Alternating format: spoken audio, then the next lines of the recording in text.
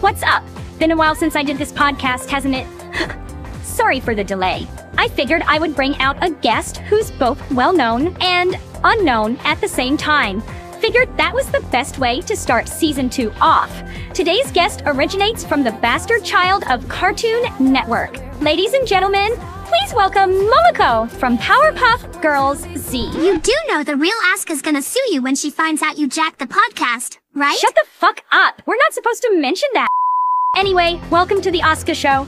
You're actually the first guest of season 2. Did you know that? Really? That's cool to hear. Glad I could make it. Yeah, usually I try to get people who are currently trending to come to my shows, but for this premiere, I just felt generous and daring enough to pull you out of obscurity. Wait, what? I mean, you and your girls never made it to America, right? And Cartoon Network refuses to acknowledge your existence. Is this whole podcast just gonna be roasting my anime? Nah, I'ma spare you from that pain. This podcast is more about the guests, as well as a bit of controversial topics. And considering this is airing of the 4th of July, I feel like this is the perfect time to talk about 9-11, arguably the most infamous event in history that started the downfall of humanity as a whole. 9-11? Are you out of your fucking mind? World Trade Center, smash or pass? I'm starting to think this was a mistake. Okay, enough fucking around. Let's start this off normally. So how did you get chosen for the role of Hyper Blossom? Wait, what? I'm talking about the character. Oh, well, it all started in 2004. Toei Animation wanted an anime to celebrate their 50th anniversary, and they called up Cartoon Network of Japan regarding something to do with the OG Powerpuff Girls. I met Miyako and Kaoru during auditions there, and the director really loved our chemistry when he called us three back in for a few line reads. That's amazing.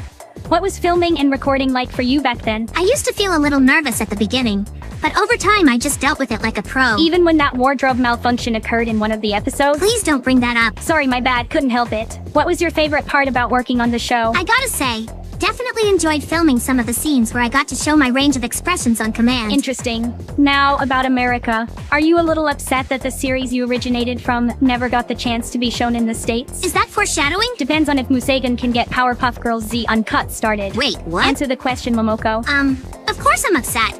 Sure, we got dubbed by Ocean Productions, the but... same company that created this famous meme. It's over 9,000! Yeah, whatever. For some reason, Ocean and Cartoon Network prevented the dub from airing in the United States, for reasons that they haven't explained to me. I bet that's due to the questionable dub decisions when it came to the voices. Bitch, I dare you to say that to my face! Chill, I wasn't making fun of you. Better not be. Anyway, this episode of The Asuka Show is sponsored by Museigen, Honoka TV. This channel might have slowed down dramatically on the content grind, but it's the home of unfiltered content on YouTube, as well as a bunch of AI voice covers and two original songs. Subscribe to this channel if you're new, it don't cost anything. And definitely check out Racist Asian Time Bomb as well, the joint collaboration between Museigen and some dude with glasses and a Daya fetish.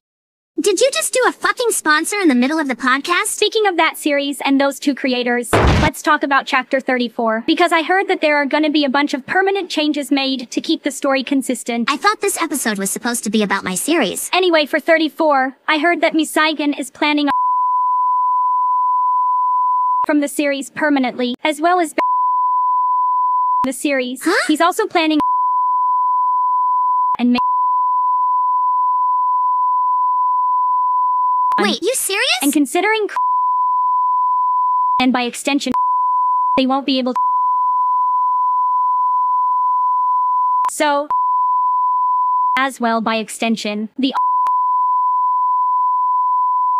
as a result putting the series back in present day Jesus Christ. and then after that Museigen plans to for good measure. I guess that's why he introduced the small time machines in chapter 32. He was planning ahead of Chris. But what if Chris finds out that so he series permanently, as well as Trust me, Chris won't find out about this. Museigen is keeping all these details secret from him. But you just blurted them out in the podcast. I have a bleeping button for spoilers. I can press this to mute the podcast and bleep it live. Looks like you thought of everything. Indeed I did.